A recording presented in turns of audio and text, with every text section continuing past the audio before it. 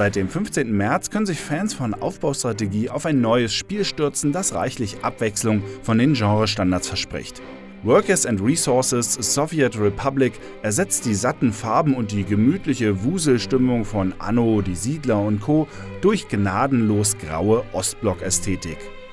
Statt einer sonnigen Insel im Südpazifik lenken wir hier die Geschicke einer Plattenbaukleinstadt im osteuropäischen Hinterland und müssen komplizierte Wirtschaftskreisläufe in Schwung bringen, um Arbeiter und Geldbeutel gleichermaßen glücklich zu machen. Noch befindet sich das Spiel im Early Access. Einen ersten Blick haben wir trotzdem schon gewagt und dabei gleich mehrere Städte in den Ruinen getrieben. Aber irgendwie passt das ja ganz gut zum Thema der Simulation. Unsere Reise in den Ostblock beginnt ganz vielversprechend. Vor jedem neuen Spiel dürfen wir eine ganze Reihe von Einstellungen an unseren Geschmack anpassen und damit selbst bestimmen, wie schwer wir es uns machen wollen. Neben optischen Spielereien wie einem ausschaltbaren Tag-Nacht-Wechsel können hier auch zentrale Spielelemente aktiviert oder deaktiviert werden. Wer also keine Lust hat, stundenlang an der perfekten Energieversorgung herumzutüfteln, schaltet dieses Feature ganz einfach aus.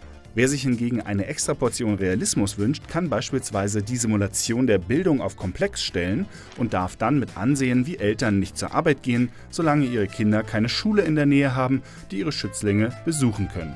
Diese Anpassungsmöglichkeiten sind in der Theorie klasse, die anfängliche Euphorie darüber kann aber schnell an der Realität der virtuellen Spielwelt zerbrechen.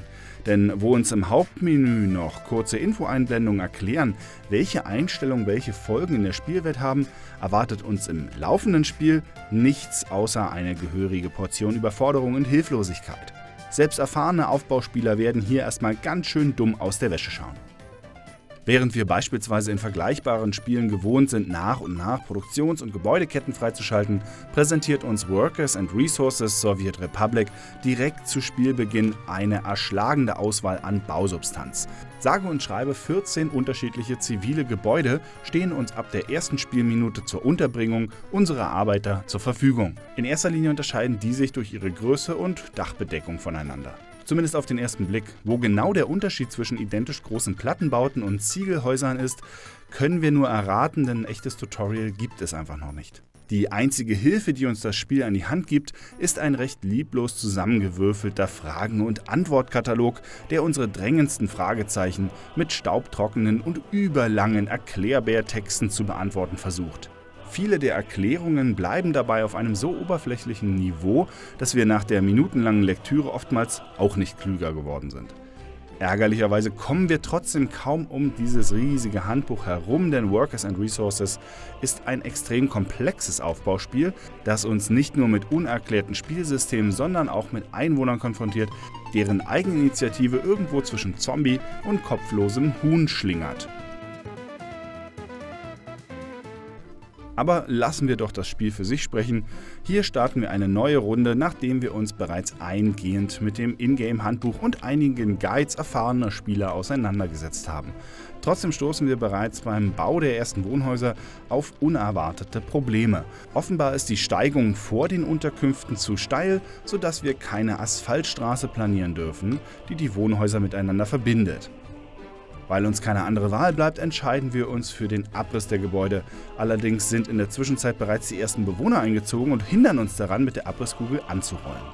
Also müssen wir zuerst neue Wohnhäuser errichten und per Mausklick alle Bewohner einzeln in die nun leerstehenden Wohnungen transferieren.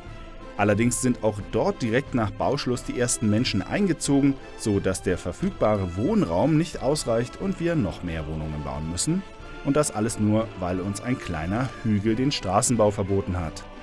Das kann alles ganz schön frustrierend sein, es hat aber auch einen gewissen Reiz und irgendwie passt es, wie schon erwähnt, sehr gut zum ganzen Setting des Spiels.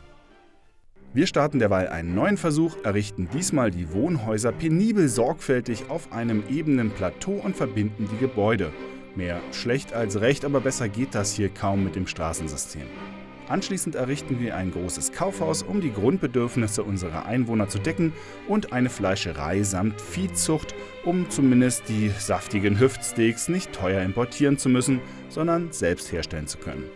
Doch dieses ehrhafte Unterfangen stellt sich als fast unüberwindlicher Stolperstein für unsere aufstrebende Kleinstadt heraus. Niemand scheint dort arbeiten zu wollen.